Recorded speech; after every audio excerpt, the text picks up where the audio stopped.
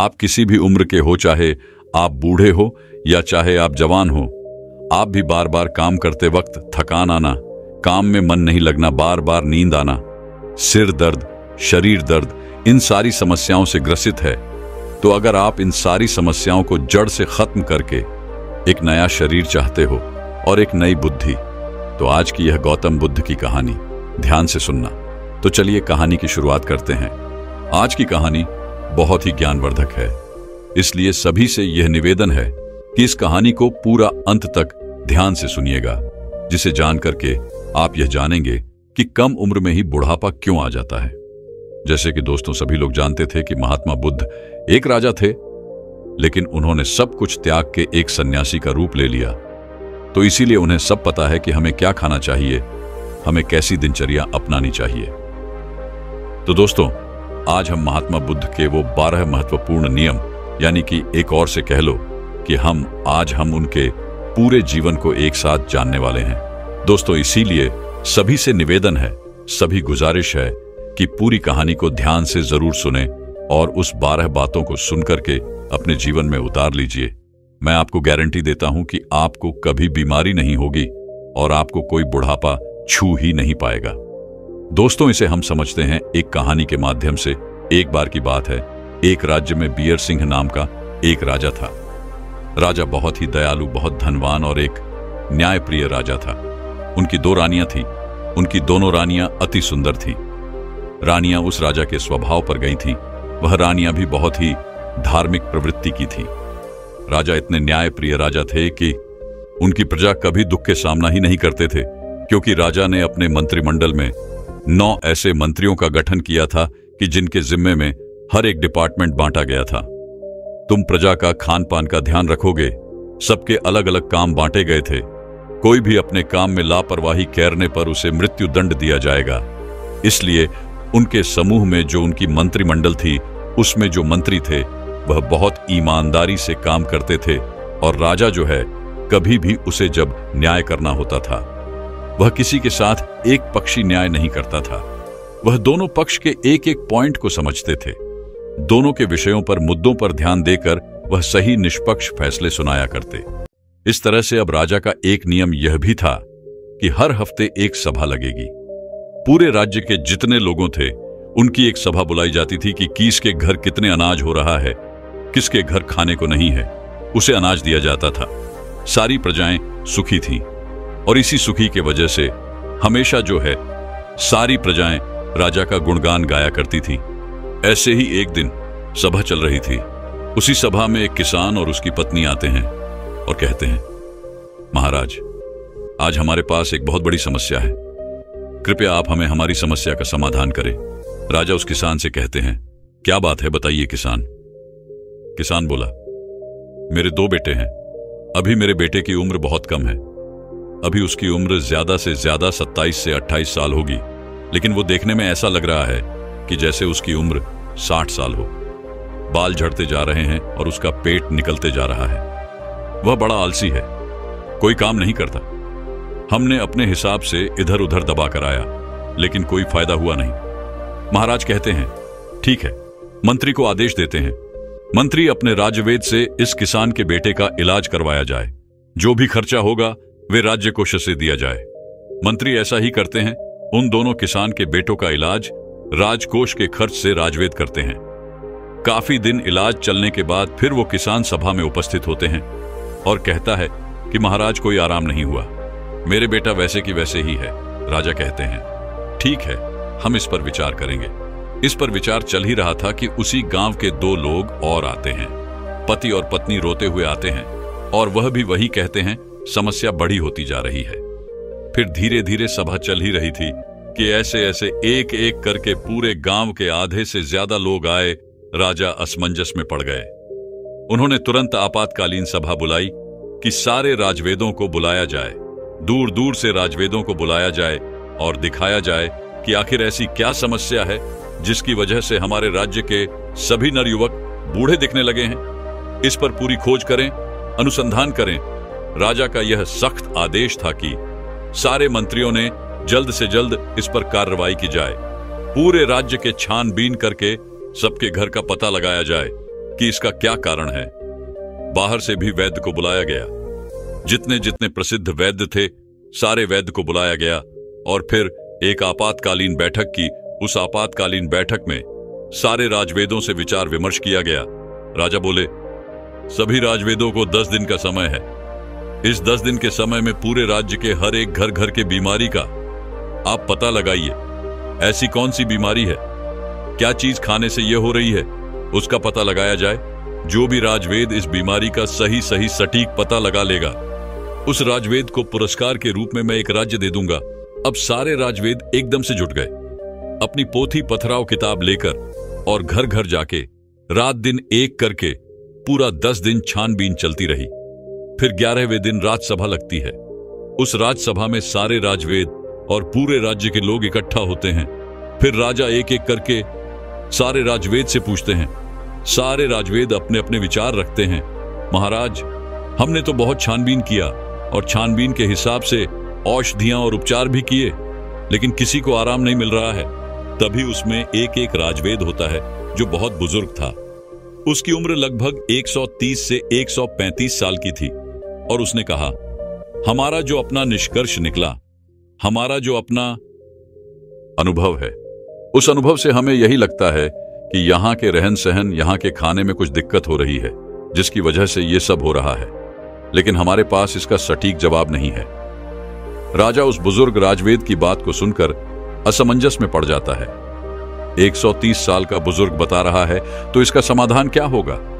कुछ देर बाद वह राजा कहता है है राजवेद अब इसका समाधान आप ही बताएँगे, क्योंकि हम आज एक महीने से इसके कारण खुद बहुत ज़्यादा चिंतित हैं। हमारी प्रजा परेशान होती जा रही है और हम भी देख रहे हैं। हम भी इसी सोच में परेशान होते जा रहे हैं। मेरे भी बाल झड़ने शुरू हो गए हैं। हमारे परिवार में महारानी राजकुमार या जो भी है, हमारी प्रजा भी इसी से परेशान है। आखिर समाधान तो बताइए। फिर वह राजवेद हाथ जोड़कर खड़े होते हैं और राजा से कहते हैं, राजा हमें क्षमा करिए, लेकिन हमारे पास एक उपाय ज़रूर है। इस समस्या का सारा समाधान एक ही आदमी के पास है। अगर उस आदमी को ढूंढ के लाया जाए तो आपकी राज्य के सारी समस्या खत्म हो जाएगी। सारी बीमारियाँ खत्म हो जाएँगी। उनके अलावा इसका समाधान किसी के पास नहीं है। महाराज कहते हैं, राजवेद जल्दी बताइए, इस शुभ काम में देरी मत करिए। मुझे जल्दी उस महापुरुष, उस ज्ञानी का नाम बताइए। हम उन्हें अपने राज्य में आमंत्रित करेंगे, वह राजवेद कहता है। क्षमा करें महाराज, हमें उनका पता नहीं है कि वह कहाँ रहते हैं, लेकिन उनका किसी राज्य में उपदेश चल ही रहा होगा। कृपया आप अपने सैनिकों को सारे राज्य में भेज करके पता लगाइए कि महात्मा बुद्ध किस राज्य में है, कहाँ पर है, कहाँ पर वह उपदेश दे रहे हैं। केवल उन्हीं के पास इस समस्या का समाधान है और दूसरा, किसी के पास इसका समाधान नहीं है। राजा, यह बात जैसे ही राजवेद के मुँह से अपने सुनते हैं, वैसे ही अपने नौ मंत्री थे जो सबसे काबिल मंत्री थे। उन्होंने उनको आदेश दिया कि जल्दी से जल्दी महात्मा बुद्ध का पता लगाया जाए और उन्हें आदर सम्मान के साथ अपने राज्य में लाया जाए। यह हमारा सबको आदेश है। इसके लिए जितनी भी सेना चाहिए, जितने भी गुप्तचर चाहिए, ले लीजिए और आप पता लगाइए। इस समय महात्मा गौतम बुद्ध का उपदेश किस राज्य में चल रहा है, वह ज़रूर आएँगे। उनको हमारा संदेश भेजिए। अगर वह नहीं आते तो आप मुझे बताइएगा। मैं खुद उनके पास चला जाऊँगा। अपनी समस्या का निवारण लेकर सारे मंत्री तुरंत चारों दिशा में फैल जाते हैं और काफ़ी अथक प्रयास करने के बाद, काफ़ी मेहनत करने के बाद, महात्मा बुद्ध का काफ़ी दूर राज्य में पता चलता है कि वहाँ वे उपदेश दे रहे हैं। मंत्री वहाँ जाता है और महात्मा बुद्ध को प्रणाम करता है और कहता है, भगवान, आपको हमारे राजा ने बुलाया है। हमारे राज्य में बहुत बड़ी बीमारी आ गई है। कृपया आप हमारे साथ चलने की कृपा करें। महात्मा बुद्ध इतने दयालु, हंसमुख, उनका तो बस एक ही उपदेश था कि हमारे पूरे भारतवर्ष स्वस्थ निरोग रहे। किसी के मन में छल कपट ना हो, कभी कोई दुखी ना हो, सभी लोग हँसते रहे। जैसे ही उन्होंने सुना, सैनिक के मुँह से उन्होंने कहा, क्यों नहीं तुरंत चलते हैं? और महात्मा बुद्ध उस मंत्री के साथ मंत्री के राज्य में आने के लिए तैयार होते हैं और उनके साथ जो उनके शिष्य थे, वह भी आते हैं। महात्मा बुद्ध का राजा दरबार में स्वागत होता है। उन्हें सादर आमंत्रित किया जाता है। बड़ा स्वागत सम्मान किया जाता है और फिर वह राजा महात्मा बुद्ध से कहते हैं, यह हमारी प्रजा है। आप देख रहे हैं, इतनी विशाल प्रजा है। बड़ी ही हंसमुख प्रजा थी, बड़ी ही सुखी प्रजा थी। लेकिन आज इनके ऊपर बहुत भारी विपत्ति आ गई। जब इनके ऊपर विपत्ति आ गई है तो मान लो हमारे ऊपर भी विपत्ति आ गई है। यह प्रजा नहीं है। ये हमारे परिवार के सदस्य हैं। कृपया आप ही इन सब की समस्याओं का समाधान करें। महात्मा बुद्ध राजा की पहले ही प्रशंसा सुन चुके थे। राजा के सोच और विचार से महात्मा बुद्ध प्रभावित होकर महात्मा बुद्ध मुस्कुराते हैं और राजा से कहते हैं, क्यों नहीं? ये तो कुछ नहीं है, सब ठीक हो जाएगा। यह समस्या सब लोग अपने आप पाले हैं। ऐसी बातें सुनकर राजा मुस्कुराता है। इतनी बड़ी समस्या है और महात्मा बुद्ध कह रहे हैं, कोई समस्या नहीं है। तब राजा कहते हैं, ठीक है, गुरुवर, जैसे भी हो, आप हमारी प्रजा को ठीक कर दे। महात्मा बुद्ध के सामने एक चेला खड़ा था। महात्मा बुद्ध उस चेले की तरफ़ इशारा करता है। तब चेला कहता है, ठीक है, राजा, कल से मैं रोज सुबह चार बजे आपके राज्य में हमको एक ऐसा खुला स्थान दे दीजिए जहाँ पर आपके राज्य के सारे लोग एकत्रित हो सकें, जहाँ खुला वातावरण हो, जहाँ प्राकृतिक धूप आती हो, जहाँ प्रकृति की सारी हवाएँ आती हो, सुनहरा माहौल हो। वहाँ पर कल से हमारा चार बजे से शुरू हो जाएगा लोगों को उपचार देना। लेकिन उससे पहले आप अपने राज्य में एक आदेश लागू कर दीजिए कि सब उस स्थान पर आपका पूरा राज्य और आप खुद उस स्थान पर सभी लोग उपस्थित रहना। सभी लोग को वहाँ से कल से ही उपदेश देना शुरू हो जाएगा और यह उपदेश बारह दिन तक चलेगा। बारह दिन एक एक करके उपदेश दिया जाएगा और बारहवें दिन आपकी जो प्रजा है, वह प्रजा स्वस्थ हो जाएगी। राजा शिष्य के मुँह से यह बात सुनकर बड़े खुश होते हैं। सिर्फ़ बारह दिन में। राजा कहते हैं, ठीक है, जो वह खर्चा आएगा, वो सारे हमारे राज्य कोष से दिया जाएगा। फिर वह शिष्य कहता है, कोई खर्चा नहीं आएगा। महाराज, आप निश्चित रहिए, आप सिर्फ़ और सिर्फ़ अपने प्रजा में यह सख्त आदेश करवा दीजिए कि जो चार बजे यहाँ उठकर नहीं आएगा, उसे दंड दिया जाएगा। राजा ने यह आदेश लागू कर दिया और कहा, कल सुबह सबको वहाँ आना है। राजा ने एक बहुत बढ़िया सा स्थान निर्धारित किया और कहा कि कल पूरी प्रजा उसी स्थान पर आएगी।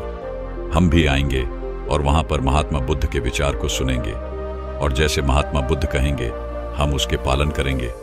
और हमारे सारे गुप्तचर सबके घरों पर निगरानी रखेंगे। जो भी उपदेश का पालन नहीं करेगा, उसे सभा में दंडित किया जाएगा। ये सारी बातें घोषित करने के बाद पूरी प्रजा महाराज को प्रणाम करती है और कहते हैं, ठीक है महाराज, हम सभी लोग वहाँ पर उपस्थित होंगे। महात्मा बुद्ध को सभी लोग प्रणाम करके वहाँ से चले जाते हैं। उस दिन की सभा वहीं पर स्थगित होती है। फिर अगले दिन कल से महात्मा बुद्ध के प्रवचन शुरू होने वाला था। उसमें वह उपदेश देने वाले थे। कल पहला उपदेश था तो वहाँ पर सबको चार बजे आना था। महात्मा बुद्ध वहाँ पर चार बजे पहुँच जाते हैं और उस राज्य के सारे लोग चार बजे पहुँच जाते हैं। फिर वहाँ पर महात्मा बुद्ध पहला उपदेश बताते हैं, वह पूरी राज्य को संबोधित करते हैं और अपने शिष्यों को इशारा करते हैं कि लोगों को बताओ, उनका शिष्य खड़ा होता है अपने स्थान से और कहता है, कल से पूरे राज्य के लोग चार बजे उठेंगे, सुबह चार बजे। चार बजे जो होता है, वह ब्रह्म मुहूर्त होता है। इसलिए चार बजे सबको उठना है। सब उठने के बाद दो से तीन ग्लास गुनगुना पानी करना है और सबको बैठ आलथी पालती मारकर बैठना है। जो गुनगुना पानी है, वह मिट्टी के बर्तन में पीना है। इसका जो अनुसरण नहीं करेगा, वह आराम नहीं पाएगा। महात्मा बुद्ध का यह पहला उपदेश था। इस पहले उपदेश का पालन अवश्य करना और उसके बाद कल दूसरा उपदेश दिया जाएगा। कल इस उपदेश का सब पालन करके आएँगे। सभा वहीं समाप्त होती है। फिर अगले दिन सभी लोग समय से उपस्थित होकर वहाँ आ जाते हैं। सब लोगों से फिर महात्मा बुद्ध के शिष्य पूछता है, क्या हुआ? कितने लोग पालन किए? सब लोगों ने हाथ उठाया और सभी ने कहा कि हमने इसका पालन किया और आज हमें बहुत आराम मिला। हमारा पेट एकदम सही से साफ़ हुआ। शरीर एकदम हल्का फुल्का लग रहा है। एकदम हम स्वस्थ लग रहे हैं। फिर महात्मा बुद्ध शिष्य से कहते हैं, अब दूसरा उपदेश सबको टहलने चलना है। यानी कि आज के जमाने में कहे तो सबको मॉर्निंग वॉक करना है। अपने अपने उम्र के हिसाब से सबको चलना है, और चलना कितना है। दो से तीन किलोमीटर सबको दो से तीन किलोमीटर चलना है। उसमें जो बच्चे हैं, नौजवान हैं, वो दौड़ेंगे, और जो सामान्य लोग हैं, जो 40 से 50 की उम्र के हैं, वह तेज चलेंगे, और चाल जो होगी, एक सेकंड में एक कदम और एक मिनट में 60 कदम तेज चलना है और जो दौड़ सके वो दौड़ेंगे। बहुत तेज नहीं दौड़ना है। सब अपने क्षमता के अनुसार दो से तीन किलोमीटर ज़्यादा होगा, पर कम नहीं। इसी हिसाब से सुबह चलना है, मॉर्निंग वॉक करना है। यह दूसरे दिन का उपदेश था। अगले दिन फिर से सभा की शुरुआत होती है। फिर से लोग सभा में आते हैं। तो सबसे पहले बुद्ध किसी से पूछते हैं कि दो दिन का नियम सबने पालन किया। सब लोग हाँ में हाथ तो उठाते हैं। फिर से पूछते हैं, आज कैसा आप लोगों को लग रहा है? सब लोग कहते हैं, बहुत अच्छा लग रहा है। ऐसे लग रहा है कि हमको कोई बीमारी ही नहीं। फिर शिष्य कहते हैं, अब सब लोग खड़े हो और योगा प्राणायाम अपने हिसाब से करें। योगा प्राणायाम में दो योगा प्राणायाम ज़रूर शामिल होगा। एक कपाल भाती, दूसरा अनुलोम विलोम। सारे शिष्यों ने कपाल भाती और अनुलोम विलोम की विधि सभी को बता दिया। अनुलोम विलोम कैसे की जाती है? कपाल भाती कैसे की जाती है? सूर्य प्राणायाम कैसे किया जाता है? सभी लोग कम से कम आधा घंटा से लेकर 45 मिनट तक डेली इसे करना है। ये बताकर इस दिन की भी सभा समाप्त होती है। अगले दिन फिर सवाल शुरू होती है और उस सभा में सारे लोग उपस्थित होते हैं। सारे लोग उपस्थित होने के बाद सबसे दिनचर्या पूछी जाती है, किसने कितना अनुसरण किया? सबने कहा, अब तो हमको ऐसे लग रहा है कि अब हमको कोई बीमारी ही नहीं है। हमें किसी से खुद को जगाना नहीं पड़ता मेरी। चार बजे अपने आप आखिर खुल जाती है। यह सुनकर महाराज बड़े खुश हुए। इतना बड़ा चमत्कार बिना कोई पैसे की हमारी प्रजा ठीक हो रही है। महाराज तुरंत खुश होकर फिर महात्मा बुद्ध को प्रणाम करते हैं और बुद्ध से कहते हैं कि आप हमारे ही राज्य में रहिएगा, जाइएगा नहीं। भगवान महात्मा बुद्ध मुस्कुराते हैं, क्योंकि उनका तो काम ही है हमेशा हँसते रहना, क्योंकि वह चिंता नहीं करते। फिर वह कहते हैं, अब सबका योगा प्राणायाम, सब कुछ हो जाने के बाद अब सब लोगों को अगला काम जो करना है, वह है 300 ग्राम सेब खाना है। इससे और ज़्यादा खा सकते हैं, लेकिन कम नहीं सेब खाना। इसका के सब लोग जो भी अपना अपना काम है, वह काम करने लग जाना। उस दिन का भी ज्ञान समाप्त हुआ। सभा विसर्जित हुई। फिर अगले दिन सभी लोग आते हैं। फिर सबसे पूछा जाता है, किसको कितना आराम हुआ? सभी लोग कहते हैं कि हम तो पूर्ण रूप से एकदम ठीक हो गए। फिर वे शिष्य यह कहता है, नहीं, अभी तो आधी बाकी है। अभी तो आधा नियम और करना है। जब आप पूरे नियम का अनुसरण कर लोगे तो आपको कोई बीमारी नहीं आएगी। बुढ़ापा तो छूमंतर हो जाएगी। बुढ़ापा पास नहीं आएगा। मर्दाना ताकत बरकरार रहेगी। हमारे महात्मा बुद्ध की तरह सभी के चेहरे पर चमक बनी रहेगी। फिर कहते हैं कि अगला उपदेश क्या है? अब सब लोग सेब खाए हैं। सेब मान लीजिए, सबने खा लिया है सात से आठ बजे तक। उसके दो से ढाई घंटे बाद सबको अपने फुल डाइट लेनी है। सबको फुल खाना खाना है। खाने में क्या क्या खाना है? सबको रोटी खाना है। मल्टीग्रेन रोटी, मिक्स रोटी। वह कहता है, उसमें गेहूँ नहीं होगा। गेहूँ अच्छा चीज़ नहीं है।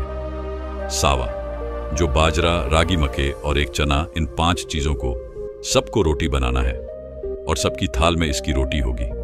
एक कटोरी दाल होगी। और उसमें देसी घी, गाय का डाला हुआ और एक कटोरी मिक्स सब्ज़ी या साग होगा। सीज़न के हिसाब से जो सीज़न वाली सब्ज़ी होती है, वही खाना है। बिना सीज़न वाली सब्ज़ी नहीं खानी है। बिना सीज़न वाली सब्ज़ी बचा कर रखी हुई होती है, वह नुकसान पहुंचाती है।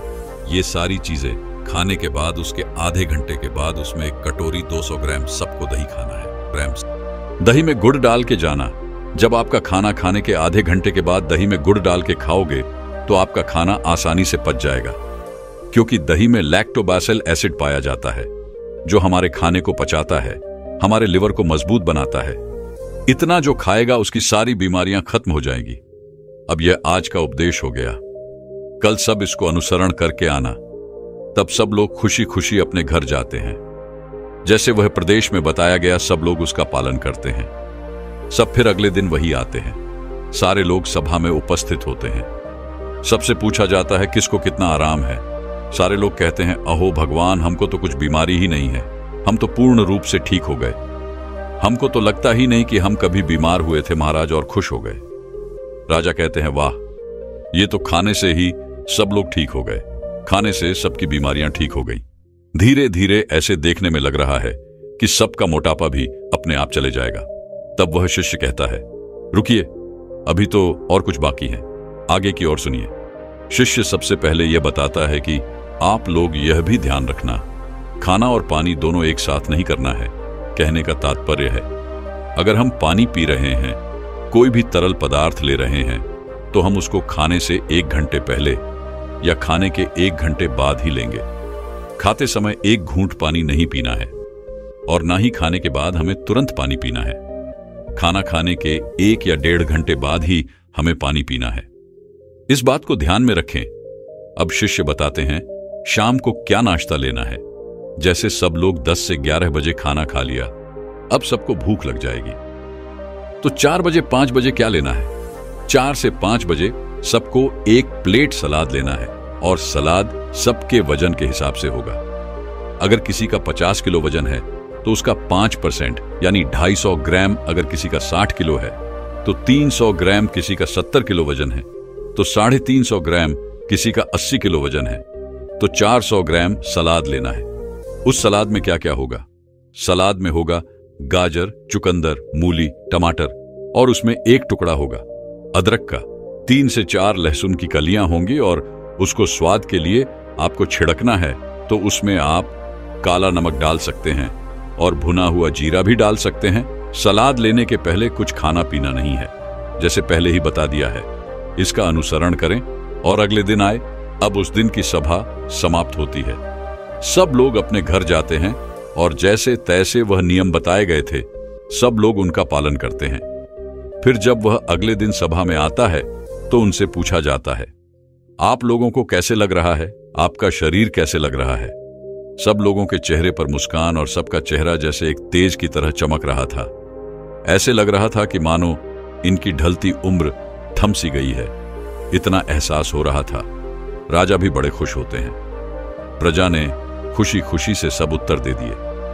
फिर वह राजा महात्मा बुद्ध के चरणों में जाकर प्रणाम करते हैं। वह कहते हैं, धन्य है भगवान।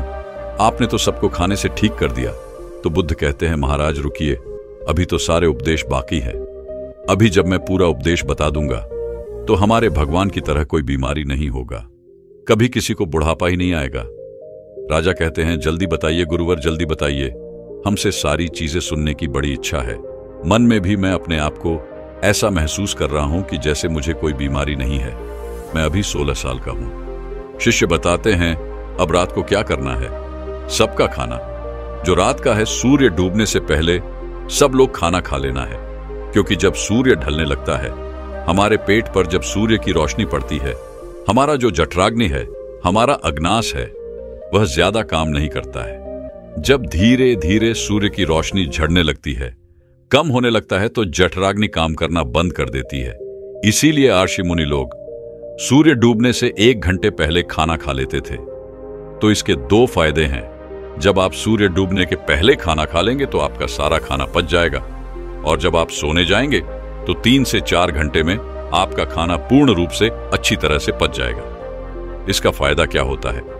नींद बढ़िया आएगी। अगर आप लेट खाना खाते हैं, अपने जीवन को बिगाड़ लेते हैं तो उसमें क्या होता है? आपको जल्दी नींद नहीं आएगी, आपके पेट में अच्छे से खाना डाइजेस्ट नहीं होगी, बचेगा नहीं। इससे आपको गैस एसिडिटी बनेगी। इसलिए आपको सूर्योदय से एक घंटे पहले रात की खाना खा लेना है। और खाने में क्या क्या लेना है? वही मल्टीग्रेन रोटी और साग की सब्ज़ी सीज़न के हिसाब से बस दो चीज़ें हैं। और खाना कितना खाना है? नाम मात्र, यानी कि हल्का खाना खाना है, जिससे लगे कि आपने खाना नहीं खाया है। फिर उसके एक घंटे के बाद आपको एक ग्लास दूध पीना है। उसमें तीन ग्राम हल्दी डाल देना है। हल्दी शुद्ध घी की होनी चाहिए, बाज़ार की नहीं, दूध उबालकर ठंडा हो जाए, फिर आपको पीना है। हल्दी वाला दूध आपकी सारी बीमारियों को नष्ट कर देगा। यह इतना शक्तिशाली होता है। सब इसका पालन करेंगे और उसको फॉलो करने के बाद दूध पीने के तुरंत बाद सोने नहीं चला जाना है। दूध पी के एक दो घंटे के बाद सोने चला जाना है। और आपको रात्रि के दस बजे तक में सोने चला जाना है। जब आप दस बजे सो जाएँगे, आपको गहरी नींद आएगी। आपके सारे खाने डाइजेस्ट हो जाएँगे। जब आपको अच्छी नींद आएगी तो चार बजे सुबह अपने आप आपकी आँखें खुल जाएँगी। आपको कोई टेंशन नहीं रहेगा। कोई बीमारी नहीं लगेगी। आखिरी में शिष्य कहता है, ध्यान से सुनिएगा। सबको वर्तमान में जीना है। सबको बच्चे की ज़िंदगी जीना है। जैसे जो छोटे बच्चे होता है, उन्हें कोई टेंशन नहीं होता है। मेरे मम्मी का पड़ोसी से झगड़ा हो रहा है, पर पड़ोसी का पापा से झगड़ा हो रहा है।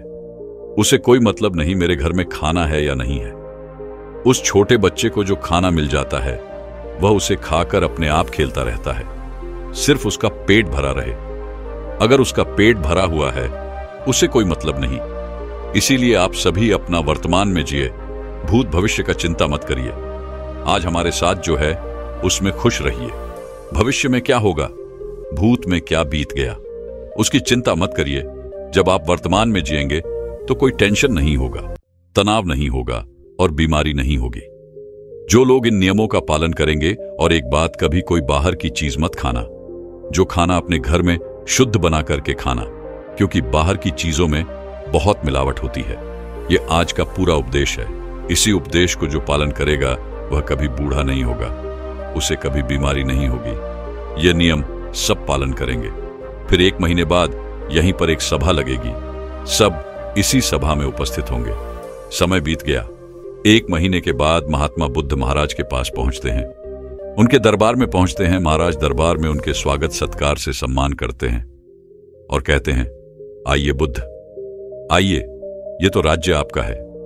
महात्मा बुद्ध मुस्कुराते हैं। बताइए, राजन, आप लोग कैसे हैं? आपके प्रजा में लोग कैसे हैं? राजन कहते हैं, अहो, भगवान, आपने जो उपदेश दिया है, हमारी पूरी प्रजा ऐसे देखने में लगे रही है, जो साठ साल के थे, लग रहे पंद्रह बीस साल के हो गए। सबकी ढलती हुई उम्र रुक गई है। सब लोग श्रेष्ठ पृष्ठ हैं। हमारे राजवेद लोग तो बैठ के आराम कर रहे हैं। उन्हें तो कोई दवा की ज़रूरत ही नहीं है। सब लोग अपने आप तंदुरुस्त हैं। हमारी प्रजा बड़ी खुश है। बुद्ध बोले, मैं यही चाहता हूँ कि कल हम आपके प्रजा के दर्शन करें। राजा बोले, मैं कल सभी को सभा में बुलाता हूँ। कल के लिए आप कृपया करके रुक जाइए। और राजा अपनी पूरी प्रजा को एकत्रित करता है। उनकी सारी प्रजा महाराज और भगवान बुद्ध को प्रणाम करती है। महात्मा बुद्ध मुस्कुराते हैं और कहते हैं, आयुष्मान भव। सब लोग खुश होते हैं। पूरी प्रजा खुश होते हैं। इस उपदेश को जीवन भर पालन करने का सब लोग वहीं पर प्रण लेते हैं। और राजा कहते हैं, आपने जो यह उपदेश दिया है, मैं इसे अन्य लोगों तक भी पहुंचाऊँगा। ज़्यादा से लोगों तक पहुंचाऊँगा, राजा और प्रजा के मुख से यह बातें सुनकर भगवान बुद्ध बेहद खुश होते हैं और फिर महात्मा बुद्ध वहाँ से चले जाते हैं। तो दर्शकों, चलिए, अब नींद के नियम कैसे होने चाहिए? हमें किस प्रकार किस आसन में सोना चाहिए, जिससे हमारे शरीर की सारी बीमारियाँ खत्म हो सकती हैं? इस विषय पर अगली गौतम बुद्ध की प्रसिद्ध कहानी की शुरुआत करते हैं। इस कहानी को सुनने के बाद आप जान पाएँगे कि नींद क्या है। नींद के समय को कम और नींद को गहरा कैसे किया जा सकता है। और इस कहानी के अंत में आपको एक अच्छी और गहरी नींद के लिए कुछ छोटे छोटे यौगिक उपाय भी बताए जाएँगे। तो आइए शुरू करते हैं एक कहानी के माध्यम से। एक बार एक अमीर इंसान एक बौद्ध भिक्षु के पास जाता है और कहता है, मुनिवर मैं अपनी नींद से बहुत परेशान हूँ। बहुत कोशिश करने के बाद भी मैं देर रात तक सो नहीं पाता और रात में सोने से पहले मेरे मन में दुनिया भर के विचार चलते रहते हैं। और जब मुझे नींद भी आ जाती है तो मैं पूरी रात करवटें बदलता रहता हूँ। और जब सुबह नींद खुलती है तो मुझे कुछ अच्छा महसूस नहीं होता। मैं खुद को थका हुआ हूँ और अशांत महसूस करता हूँ। कृपया आप मेरी इस समस्या का कुछ समाधान बताएँ, बौद्ध भिक्षुओं ने कहा। इससे पहले मैं तुम्हारी समस्या का समाधान बताऊँ। मैं तुम्हें गौतम बुद्ध की गहरी नींद के रास्ते के विषय में एक छोटी सी कहानी सुनना चाहता हूँ, उस इंसान ने कहा, जैसी आपकी इच्छा, मुनिवर, बौद्ध भिक्षु ने कहना शुरू किया। जब तथागत गौतम बुद्ध सोते थे तो वह पूरी रात एक ही अवस्था में रहा करते थे। वह कभी करवटें भी नहीं बदला करते थे। वो जिस अवस्था में रात्रि को सोते, सुबह तक उसी अवस्था में रहते। गौतम बुद्ध का एक शिष्य था आनंद, जो कि अक्सर उनके पास ही सोया करता था।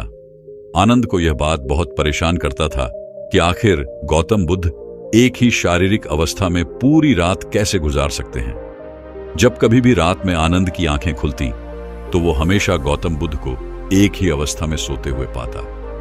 यह बात उसके मन में बहुत से प्रश्न पैदा करती थी, लेकिन एक दिन भिक्षु आनंद अपनी जिज्ञासा को रोक नहीं पाया और वह गौतम बुद्ध के पास चला गया।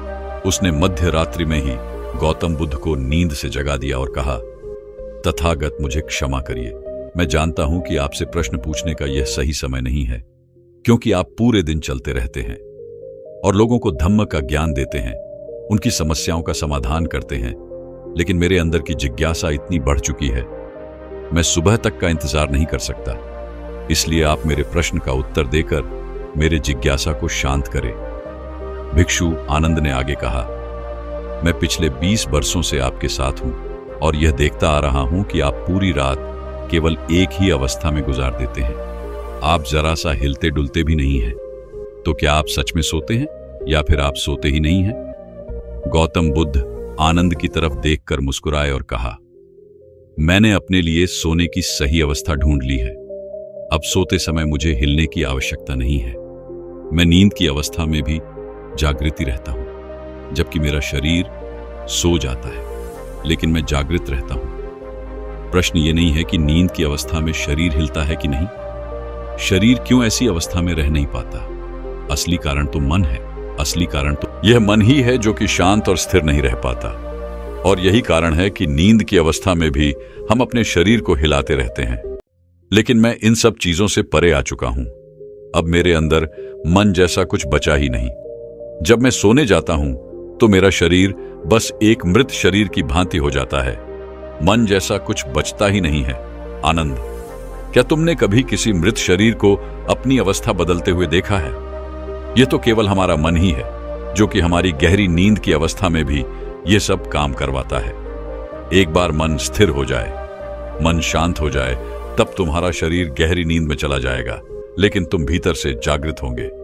भीतर से तुम सब कुछ अनुभव कर पाओगे। सोने के बाद भी तुम्हारी जागरूकता एक छोटे से जलते हुए दीपक की तरह लगातार प्रचलित रहेगी। कहानी खत्म करने के बाद बौद्ध भिक्षु ने उस अमीर इंसान से कहा, एक जागृत इंसान न कि केवल अपने शरीर को पूरी जागरूकता के साथ देखेगा, बल्कि वह अपने मन को भी पूरी जागरूकता के साथ देखता रहता है। एक जागृत आदमी सामान्य आदमी की तरह नहीं सोती। जब सामान्य आदमी सोता है तो वह अचेतन हो जाता है। उसे अपने आसपास का भी पता नहीं होता। इसीलिए तो वह अपने सपनों का भी चुनाव नहीं कर पाता। लेकिन जब एक बुद्धिमान व्यक्ति सोता है तो वह जागरूक होता है, जैसे सुबह आँखें खुली होती हैं। वैसे ही बुद्धिमान व्यक्ति के नींद में भी होती है। इसीलिए ऐसा कहा जाता है कि वह व्यक्ति कभी सोती नहीं है। जब एक आम इंसान सोने जाता है तो उसे नहीं पता चलता कि वो कब सो जाता है। लेकिन यदि तुम जागने और सोने के बीच के उस छोटे से पल में जब हम सोने के एकदम करीब होते हैं, जागृत रह पाए तो कुछ अद्भुत घटित होगा, जो तुम्हें जागरूकता की ओर करीब लाता जाएगा। यह सुन उस इंसान ने कहा, गुरुवर, पर मुझे इतनी गहरी आध्यात्मिक की बातें समझ नहीं आती। कृपया आप मुझे आसान शब्दों में समझाएँ, ताकि मुझे आसानी से गहरी नींद आ जाए। बौद्ध भिक्षु ने कहा देर रात तक जागने और आसानी से गहरी नींद ना आने के पाँच प्रमुख कारण है। पहला कारण है, बिस्तर पर सोने के अलावा भी अन्य काम करना। जैसे कि बहुत से लोगों की आदत होती है कि वो बिस्तर पर ही खाना खा लेते हैं, बिस्तर पर ही पढ़ाई करने बैठ जाते हैं और ऐसे ही बहुत से कामों वो अपने सोने के कक्ष में ही करते हैं। सोने का कक्ष का अर्थ ही होता है सोने की जगह, लेकिन लोग इसे अन्य कामों के लिए भी प्रयोग करते हैं, जिससे हमारे मस्तिष्क में सोने के कक्ष का एक निश्चित अर्थ नहीं रह जाता। इसीलिए फिर जब हम बिस्तर में सोने जाते हैं तो हमारा मन पूर्ण रूप से इस बात को स्वीकार नहीं कर पाता कि अब हमें सोना है, क्योंकि आपने उसी जगह पर अन्य कामों को करने की आदत डाल दी है। दोस्तों, अगर आज के समय के अनुसार बात करें तो हम फ़ोन भी बिस्तर पर लेट कर ही चलाते हैं, ऑफ़िस का काम भी बिस्तर पर ही करते हैं। चाहे मूवी देखना हो खाना खाना हो वीडियो गेम खेलना हो, या गप्पे मारना हो। आजकल लोग अपना अधिकतर समय बिस्तर पर यूँ ही लेटे लेटे गुजार देते हैं, जिसकी वजह से हमारे मन में बिस्तर अब सिर्फ़ एक सोने की जगह नहीं रही। और यह एक बड़ा कारण है कि जब हम बिस्तर में सोने जाते हैं, हमें घंटों तक नींद नहीं आती। बौद्ध भिक्षु ने आगे कहा, बौद्ध आसनों में एक भिक्षु सुबह सोकर उठते ही अपने बिस्तर का त्याग कर देता है, और फिर वो दोबारा रात में सोने के वक्त ही बिस्तर पर वापस जाता है, जिससे उसके मस्तिष्क को पता है कि बिस्तर में आने का अर्थ है गहरी निद्रा में जाना। गहरी और आरामदायक नींद न आने का दूसरा कारण है सोने के एक निश्चित समय का निर्धारित न होना। बौद्ध भिक्षु ने कहा, अगर तुम सुबह जल्दी और पूरी नींद लेकर उठना चाहते हो तो तुम्हें रात को जल्दी और एक निश्चित समय पर सोने की आदत डालनी होगी। बौद्ध आश्रमों में रहने वाले भिक्षु हमेशा ही एक निश्चित समय पर सोने से कुछ घंटे पहले हल्का और आसानी से पचने वाला भोजन ग्रहण करते हैं और रोज रात एक निश्चित समय पर सोने चले जाते हैं।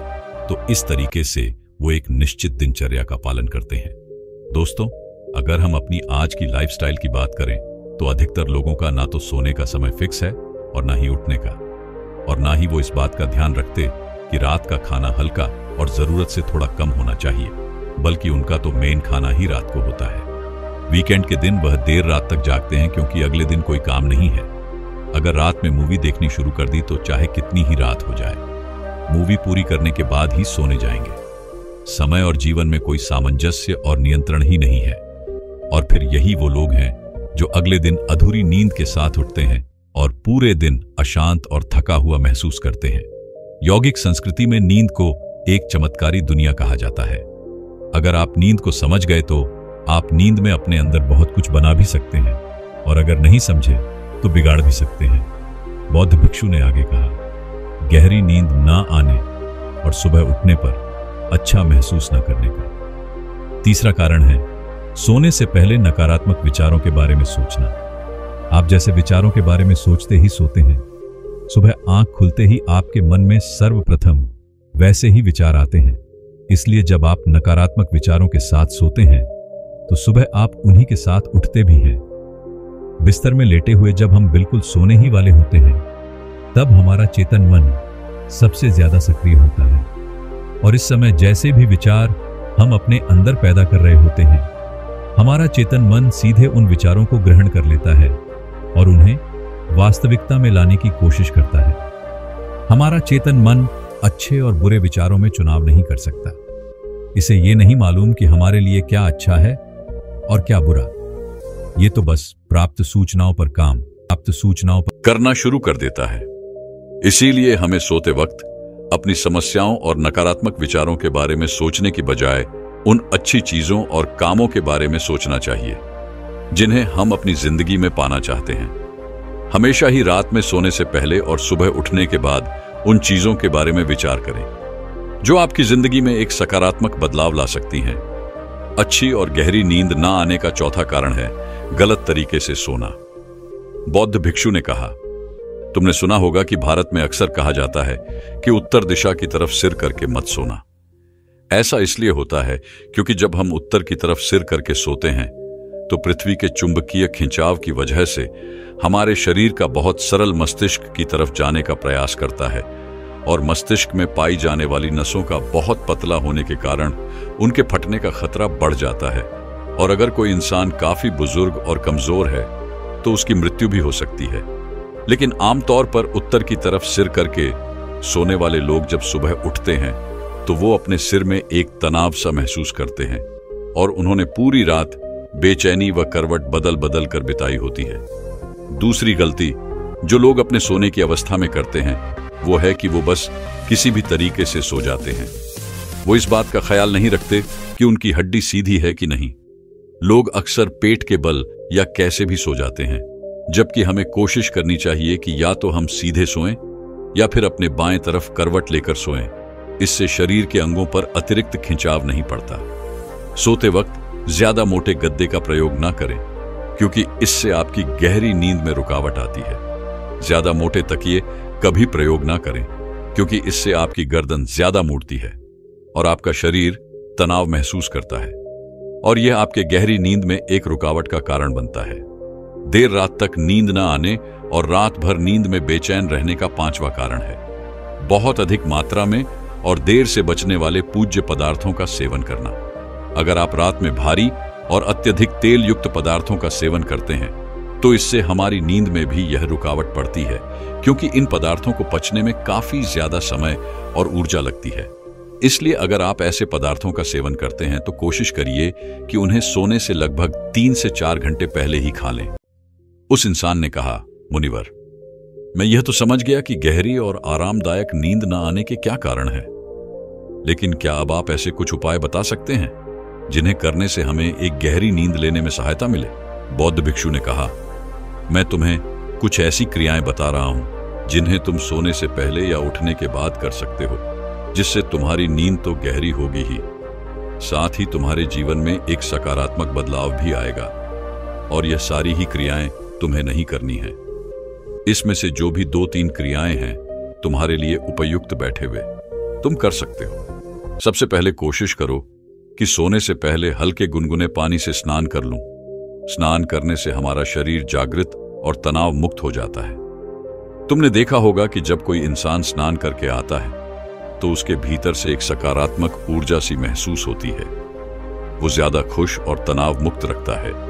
इसका कारण यह है कि हमारा ज़्यादातर शरीर पानी है और पानी हमारे शरीर का एक बुनियादी हिस्सा है। सोने से पहले हो सके तो अपने शयन कक्ष में किसी जैविक तेल और रुई का बना हुआ दीपक जलाएँ। इससे आसपास के वातावरण में सकारात्मकता आती है। जब आप बिस्तर में जाएँ तो सोने से पहले ही कुछ मिनटों तक ध्यान करें और हर उस चीज़ के लिए आभार व्यक्त करें जो आपके पास है, या फिर आप अपने दिन के उन सभी अच्छे कामों के बारे में भी सोच सकते हैं, जो आपने आज किए हैं। सोने से पहले एक बार इस बात को याद करें कि आप आसमान हैं। आप आज ही मर सकते हैं। ऐसा सोचने से आप अपनी छोटी छोटी समस्याओं से परेशान रहना छोड़ देते हैं। जब सुबह सोकर उठे तो अपने दोनों हाथों को आपस में रगड़कर अपनी आँखों पर रखें। इससे आपका शरीर जागृत हो जाता है और हमेशा ही दाई ओर की करवट के साथ सोकर उठे। हमेशा रात को जल्दी सोने की कोशिश करें, जिससे आप सुबह जल्दी और अपनी पूरी नींद लेकर उठ सके तो यह थे कुछ तरीके। जिनके प्रयोग से तुम अपनी नींद को गहरा और आरामदायक बना सकते हो। उस इंसान ने बौद्ध भिक्षु को उनकी इस सीख के लिए धन्यवाद कहा और वहाँ से चला गया हो। दोस्तों, मैं उम्मीद करता हूँ कि यह कहानी सुनने से आपके जीवन में अच्छे बदलाव आए होंगे। आपको इस वीडियो से क्या सीखने मिला ये कमेंट करके ज़रूर बताइए। और अपने परिवार, दोस्तों, या आपके करीबी इंसान के साथ ये कहानी शेयर करके उन्हें भी इस ज्ञान से परिचित करवाए। बाकी अगर आपको यह वीडियो दिल से अच्छी लगी हो, तभी इस वीडियो को लाइक कर देना और आपने अब तक इस चैनल को सब्सक्राइब न किया हो तो चैनल को सब्सक्राइब भी ज़रूर कर देना। आपका हर दिन शुभ हो और खुशियों से आपका जीवन भरा रहे। धन्यवाद। नमो बुद्धाय।